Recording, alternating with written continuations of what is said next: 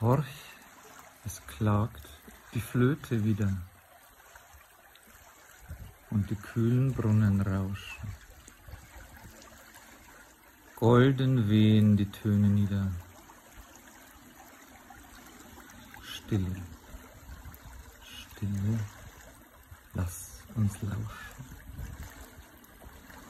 Holdes Bitten, mild Verlangen, wie süß zum Herzen spricht.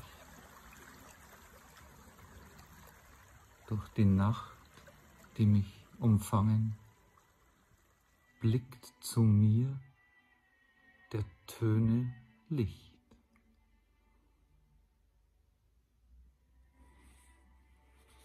Ein berühmtes Gedicht von Clemens Brentano soll am Anfang dieses kleinen Spezials über Venus in Fische stehen.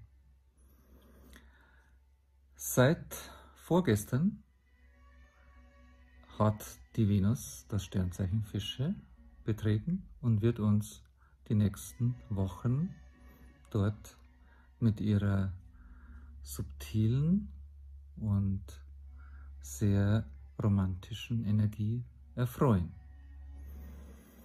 Manchmal vielleicht auch verunsichern, denn das Zeichen Fische bringt durchaus auch manchmal gewisse Verunsicherungen mit sich, wenn wir merken, dass unsere zarten, empfindsamen Gefühle so leicht sich nicht umsetzen und verwirklichen lassen. Wir haben zurzeit ja auch die Sonne in Fische Neptun steht auch in Fische, schon seit vielen Jahren. Und am 13. März bekommen wir dann ein Treffen von vier Fische-Planeten zum Neumond in Fische, eben in engem Kontakt mit der Venus. Das wird ein ganz besonderer Tag, um tief in unser Unterbewusstes hineinzulauschen, unsere Sehnsüchte und Träume auf ganz besondere Weise wahrzunehmen. Und die nächsten Tage können uns da schon zur Vorbereitung dienen, indem wir eben dieser Fische-Energie immer mehr Raum geben in unserem Leben. Ja, und was bedeutet die jetzt gerade im Zusammenhang mit Venus? Die Venus steht ja, wie viele von euch wissen, für Liebe, für das sich verbinden mit anderen Menschen auf eine ausgewogene, harmonische oder auch künstlerische Weise. Das Prinzip der Venus ist die Suche nach Balance. Sternzeichen Waage gehört zur Venus, ebenso aber auch das Sternzeichen Stier. Und in Waage ist die Venus luftiger. Im Zeichen Fische dagegen ist die Venus sehr wässrig, das heißt also sehr emotionsbetont. Und sie ist auch erhöht im Zeichen Fische, das heißt sie fühlt sich da ganz besonders wohl und richtig am Platz. Also es ist eine Verbindung, die uns sehr subtil fühlen lässt, die aber auch große Sehnsüchte erwecken. Sehnsüchte nach Allverbundenheit, nach kosmischer Liebe, aber auch nach irdischer Liebe. Und zwar bei Venus und Fische sind die Träume immer sehr hoch angesetzt. Also da werden Idealzustände von Liebe vorgestellt oder eben erträumt. Das hat einerseits natürlich den Vorteil, dass man an das romantische Prinzip wirklich auch glauben kann, dass man seiner Sehnsucht eben auch folgen kann. Die Schattenseite und der Nachteil wäre darin zu sehen, manchmal zu unrealistisch Dinge einzuschätzen, auf den geliebten Partner Sehnsüchte zu projizieren, die dieser einfach nicht erfüllen kann. Also kommt es bei Venus in Fische in unerlöster Form häufig auch zu Enttäuschungen, weil die Realität dem hoch angesiedelten Traum nicht standhalten kann. Aber aus dieser Sehnsucht gespeist entwickelt die Venus in Fische ein tiefes Empfinden für Künstlerisches. Sie sucht ihre Sehnsucht auszudrücken, sei es in Farben, in Tönen, im Tanz, in der Fotografie, wie auch immer, auch natürlich stark angeregt durch das Wasser in der Natur. Auf jeden Fall geht es um einen ganz besonders subtilen künstlerischen Ausdruck, der hintergründige Gefühle deutlich werden lässt. Wenn wir uns einen Menschen in der Natur vorstellen, der an einem See sitzt, am Meeresufer oder an einem idyllischen Bächlein, dann wird dieses vom Wasser ausgelöste Spüren genau der Energie von Venus in Fische entsprechen. Dieses in einen halb bewussten Dämmerzustand geraten, in dem du vielleicht plötzlich Ideen, Ahnungen, visionäre Gedanken bekommst und dann mit der Kraft der Venus versucht, diese auch mit anderen Menschen zu teilen. Sei es eben durch ein künstlerisches Werk, durch ein Gespräch oder durch eine Liebesbeziehung. Wie auch immer, die Venus versucht, das Ganze in ein Miteinander zu bringen und häufig in ein ja, sehr intimes Miteinander mit einem geliebten Menschen. In der Kunst wäre das wohl passendste Beispiel für die hochsensible und sehr atmosphärische Venus in Fische Energie die Musik an sich, weil Musik ist die ungreifbarste aller Künste.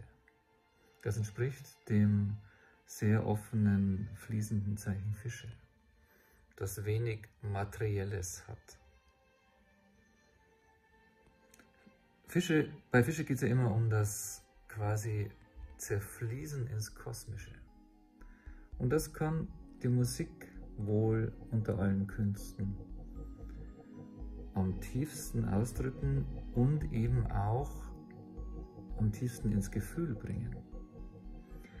Ein Komponist, der dieses unglaublich sehnsuchtsvolle, manchmal aber auch melancholische, traurige oder sogar auch enttäuschte Fühlen besonders ans Herz gehend umgesetzt hat, ist Johannes Brahms.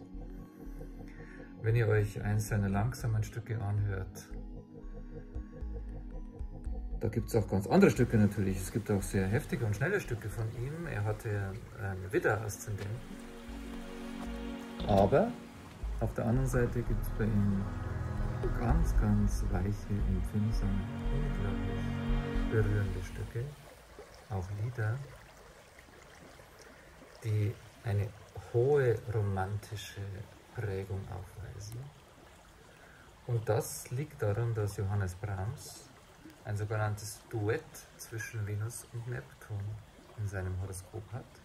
Und Duett heißt, zwei Planeten verbinden sich intensiv, in dem Fall durch ein Trigon, durch einen förderlichen harmonischen Aspekt. Venus in Zwillingen ist gekoppelt mit Neptun.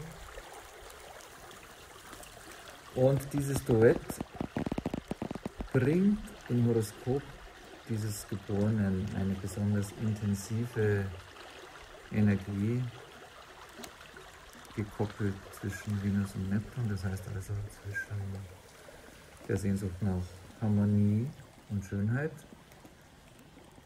tief verbunden mit der spirituellen Fühlsamkeit des Neptun. Wenn ihr zum Beispiel eines der berühmten Lieder von Brahms euch anhört, zum Beispiel das Lied Immer leiser wird mein Schlummer, dann spürt ihr da diese unglaubliche Fähigkeit, ganz subtile Gefühle in Verbindung von Wort und Ton auszudrücken. In dem Lied ist es zum Beispiel eine tiefe Melancholie, die ihn beim ersten Hören sofort ergreift und nicht mehr loslässt. Oder in seinen späten Klavierstücken, die wie intime Tagebucheinträge wirken, die Klavierstücke Opus 117 bis 119 zum Beispiel. Alles ganz feine, subtile, von ganz speziellen Stimmungen geprägte Stücke, die euch spüren lassen, wie ein Mensch, der diese Venus-Neptun-Verbindung in sich getragen hat, die ausgedrückt hat. Und Brahms hat sie, Gott sei Dank, durch seine Kompositionen mit uns geteilt. Und so könnt ihr durch jede Art von romantischer Musik, natürlich auch durch Balladen in der Popmusik, durch Meditationsmusik etc., die ganz sanfte, stimmungsvolle und ja, wirklich tief ins Herz hineinwirkende Kraft der Venus in Fische Musik nützen, um selbst ganz tief in euer Unterbewusstsein zu kommen. Und dafür ist Venus in Fische eine wunderbare Brücke und eine Helferin sozusagen, eine kosmische, eine Begleiterin, die euch ganz sanft und liebevoll an der Hand nimmt und euch in diese fantastische Traumwelt des Zeichens Fische führt. Nicht verschwiegen werden dabei soll natürlich die Schattenseite des Ganzen und die heißt entweder Sucht oder Flucht. Jemand, dem diese hochsensiblen Gefühle zu viel werden, der beginnt zu flüchten, sich abzugrenzen oder abzuspalten vor diesen Gefühlen. Und so kommt es manchmal vor, dass Menschen mit starken Fische-Energien gar nicht so empathisch wirken, wie sie sein könnten weil sie eben gelernt haben, in gewisser Weise sich auch abzugrenzen oder sich in Süchte zu verlieren. Aber das wäre, wie gesagt, die Schattenseite. Die Lichtseite von Venus im Fische ist, dass ihr ein hohes Mitgefühl für alle Wesen aufweist. Und das könnt ihr jetzt in dieser Zeit, wo die Venus ganz allgemein durch Zeichen Fische läuft, können wir jetzt alle vertiefen. Mitgefühl für alle Wesen, für die Verwundungen der Natur und für unsere eigenen Verletzungen. Die nächsten Wochen und gerade dann der Fische Neumond am 13. März sind auch wunderbare Gelegenheit, unsere eigenen Empfindsamkeiten und Verletzungen anzuschauen und zu heilen. Ja, die Venus in Fische hat auch heilerische Qualität. Ich wünsche euch, dass ihr diese wunderbare, liebevolle, strömende Energie für euch nützen könnt, dass ihr von ihr auf heilsame Weise partizipieren könnt und wünsche euch einen schönen Tag, eine gute Zeit und viel spannende Erfahrungen mit der Intuition und Fantasie der Venus in Fischen. Tschüss, alles Gute.